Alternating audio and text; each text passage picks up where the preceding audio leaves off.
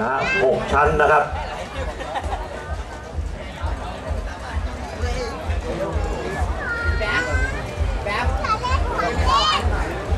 ทำไมใจเย็นๆครับใจเย็นทำไม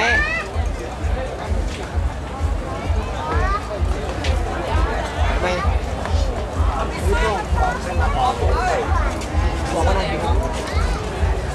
นะครับหกชั้นสงสัยจะต้องเป็นชูมือสองหรือเปล่านะครับ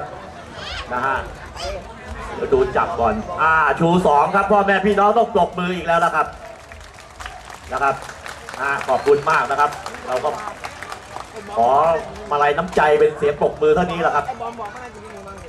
นะฮะพี่บอมบอกว่าพี่บอมบอกมานั่งกินนี่บ้างนี่เลยนะครับ เสร็จจากไม้นี้ลูกหลวงพ่อแพรเตรียมขึ้นบน แพรได้เลยนะครับนะตกเตรียมด้วยนะครับ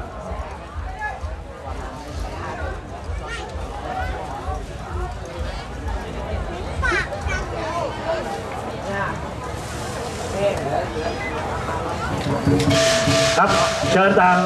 สิทธิ์เจ้าแม่กวงอิมครับ